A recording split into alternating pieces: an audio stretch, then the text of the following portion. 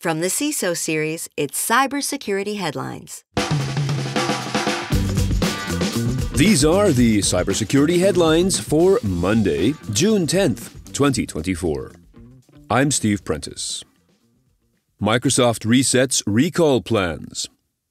Following up on a story that dogged the industry last week, Microsoft announced on Friday that its new feature, Recall, will not be released as active by default, but will instead be an opt in feature.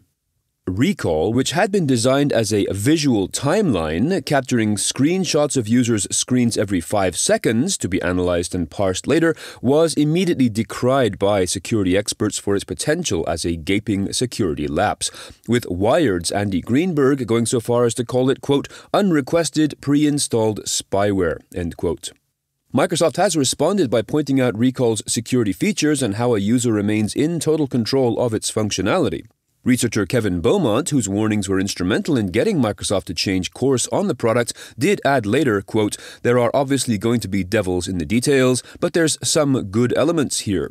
Microsoft needs to commit to not trying to sneak users to enable it in the future. End quote. LastPass says 12 hour outage caused by bad Chrome extension update. According to representatives from the company, an outage that occurred on Thursday was a result of, quote, a bad update to its Google Chrome extension, end quote, which put too much stress on its servers. This left users with a 404 not found message when attempting to access their LastPass accounts, even in offline mode. The problems for users started after LastPass launched an update on June 6. Lawrence Abrams, writing in Bleeping Computer, suggests that, quote, the extension was creating too many requests, essentially DDoSing the platform, end quote. New York Times source code stolen using exposed GitHub token. Basically, all source code belonging to the New York Times company, 270 gigabytes. That was the ad headline placed on a 4chan forum post referring to data stolen from the company's GitHub repositories in January of this year. This stolen data included, quote, IT documentation, infrastructure tools, and source code, allegedly including the viral Wordle game, end quote. The Times itself, in a statement, described this event as when a credential to a cloud based third party code platform was inadvertently made available, end quote. And now, a word from our sponsor, Vanta. Whether you're starting or scaling your security program, Vanta helps you automate compliance across frameworks like SOC 2, ISO 27001, and more. With Vanta, you can streamline security reviews by automating questionnaires and demonstrating your security posture with a customer facing trust center. Over 7,000 global companies like Atlassian, Flo Health, and Quora use Vanta to manage risk and prove security. Our listeners get $1,000 off at vanta.com slash headlines. That's V-A-N-T-A dot com slash headlines. Angry Club Penguin hackers allegedly steal Disney data.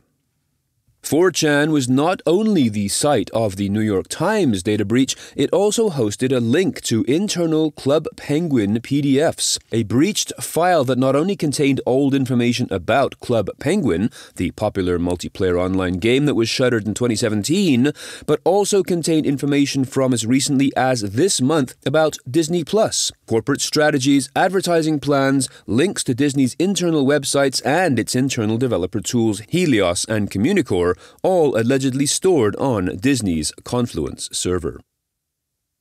Eye care management services company Panorama announces breach. Colorado based Panorama Eye Care owns or provides services to dozens of optometry or ophthalmology offices in the Rocky Mountain region. Its systems manage IT departments, HR, payroll, marketing, and capital improvements for equipment and facilities.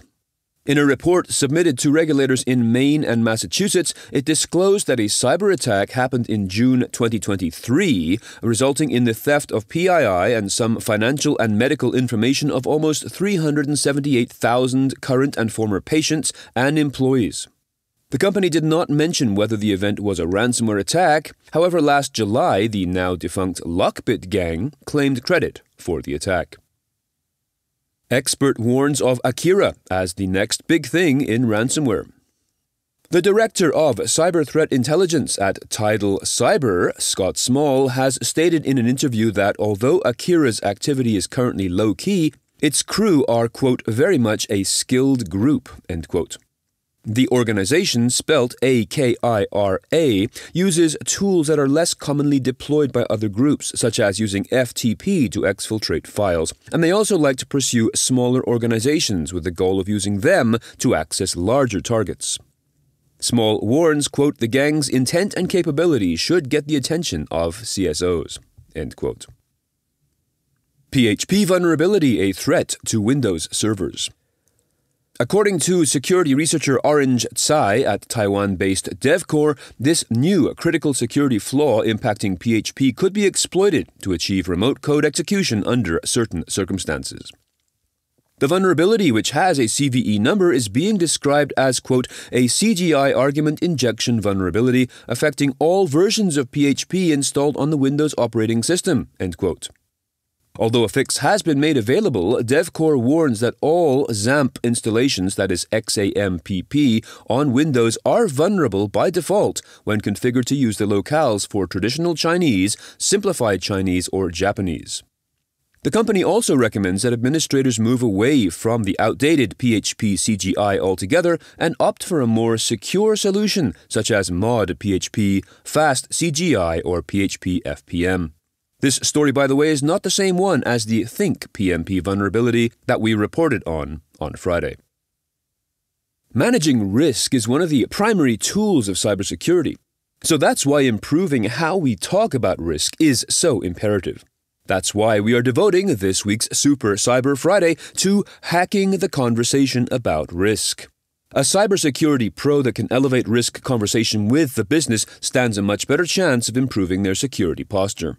We just posted a preview video of this conversation over at CISOseries.com. Check it out and then be sure to head on over to our events page to register to join us for the live stream at 1 p.m. Eastern, 10 a.m. Pacific on Friday. We always answer tons of questions from our audience and play fun games with prizes, so be sure to join us this Friday. I'm Steve Prentice, reporting for the CISO series. Cybersecurity headlines are available every weekday. Head to CISOseries.com for the full stories behind the headlines.